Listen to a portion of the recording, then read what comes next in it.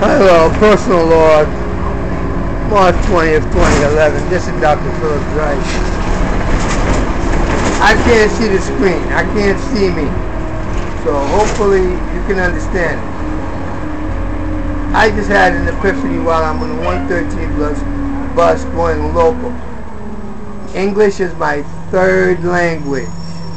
Okay? If I make mistakes in English or I don't reason it like you Anglo wage slave, emancipated wage slave guys do, it's okay. It's called bone up on some education. Now,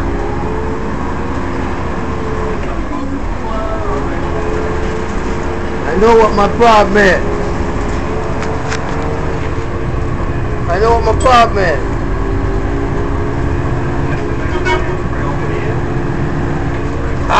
To be no poor black nigga in America living in Southeast Queens as a piece of shit motherfucker like every other motherfucker around me. Everybody I've been around and this whole fight because I saved that old lady's life. Only white people have helped me. Every black nigga has been another piece of shit motherfucker that tried to help destroy my life. And Dr. Joyce is a great guy. I'm a great guy. I'm a great guy. I've been a great guy in my class. Everybody loves me. When I come down here to you piece of shit, no good motherfuckers. You tortured me. Your bitches tortured me. The for hunters you sent. Your niggas a piece of shit. Those are the conclusions from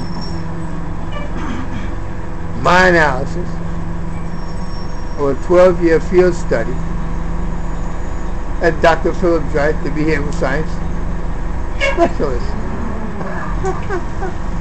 I studied you motherfuckers like Jane Goodall did the monkeys in Africa.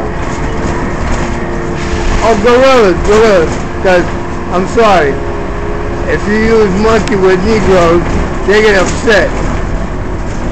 You niggas so goddamn dumb. It's a fucking shame. You scare me. It's almost like we're not even the same species. Have a nice day. We're now here in Jamaica. And every nigga on the bus hate me. Fuck them. I don't give a fuck. Bye.